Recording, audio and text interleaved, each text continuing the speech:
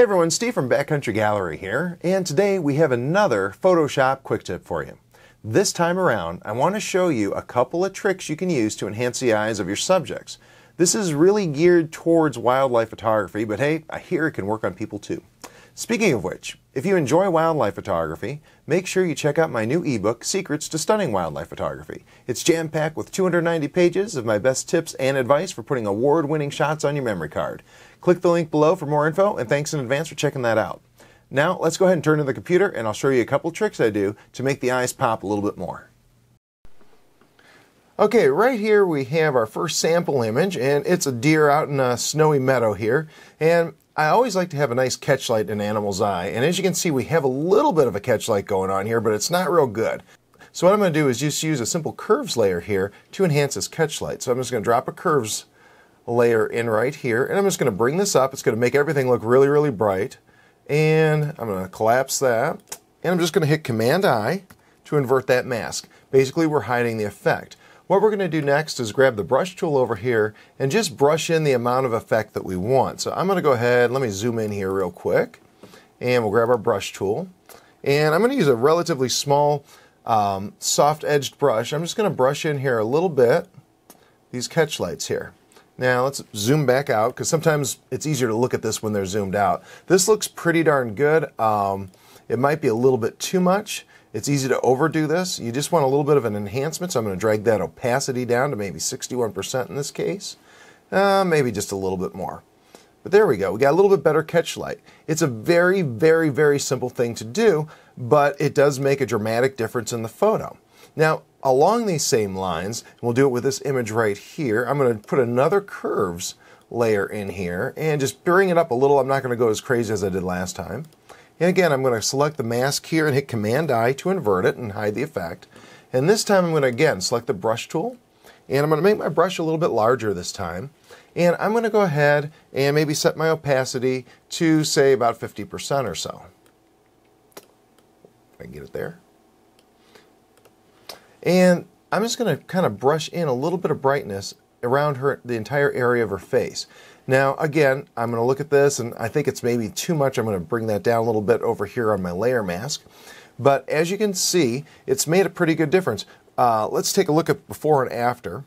We have before and we have after. I like to bring a little bit of brightness to the eyes and even to the areas around the eyes on the face because it draws your eye in. And again, let me give you one more before and after. Now let's take a look at another image. Okay, for our next sample, we have a great blue heron out here in a pond. And uh, as you can see, his eye is really dark, and it actually doesn't have real good color either. So we're going to fix both of those problems.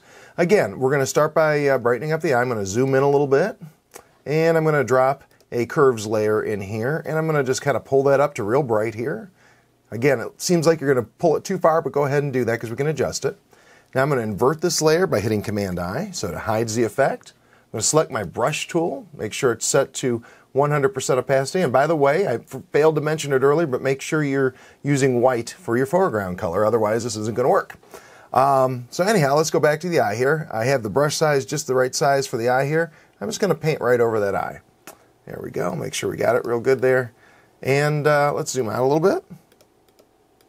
And as you can see, we have a nice bright eye now. In fact, I think it's maybe a little bit too bright, so I'm going to go to my opacity, and I'm just going to drop that down to something that looks a little more realistic and natural. Probably about 75% looks pretty good for right now. Now, the other problem I see here is his eye isn't as bright yellow as I would like it to be. Their eyes in the wild tend to be very bright yellow, and in this case, it looks a little bit dull. So I'm going to go ahead and drop in a hue and saturation layer and I'm just going to crank up that saturation just like we did over with this other, uh, with our curves. And uh, again, it's going to be too much, but we're going to go ahead and hit Command I. For the layer mask there, hides everything. We're going to grab our brush again, 100% opacity, white foreground color, and we're going to go ahead and paint, making sure this is selected over here, our, uh, our mask, making sure that's selected. We're going to go ahead and paint right on his eye here. And as you can see, it's too much. I'm going to zoom out a little bit here and it's really bright yellow. Some people might like that. I think it looks just a little bit unnatural there. So I'm going to go ahead and drop my opacity on my layer here a little bit so it looks a little bit more natural. That looks pretty good there, about 64%. Now, again, we made two very, very small changes here, but watch when I go ahead and uh, get, show you before and after. It makes a huge difference. You can really see that eye lighting up and it really brings the viewer right into that uh, right into that eye. And again, I want to emphasize that this isn't something that I do for every photo. These, you know, doesn't happen all the time, but every now and then, if an eye is a little bit dull, this works really well. Let me show you this one more time. I'm going to zoom in just to kind of show you the before and after here. And there's before, and there's after. That's it. Pretty simple. And although it may seem like a minor thing, it's little detail work like this that can really make a huge impact on the overall photo. Now, as always, feel free to share this video with anyone you know, and make sure you sign up for my email newsletter so you never miss a tip. Also, please subscribe to my YouTube channel and make sure you check out that new ebook on my website. Thanks so much for watching and have a great day.